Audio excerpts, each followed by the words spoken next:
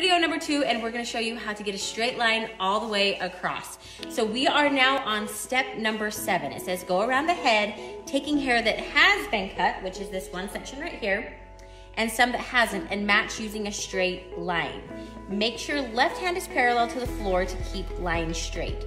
Okay, so all the hair behind the ear, we are going to make sure that the head is tilted forward. So we've already done this very first cut. Now I'm going to take some hair that I've already cut, so like half of that section. See how I'm making these partings nice and clean? And then I'm going to take some hair that hasn't been cut.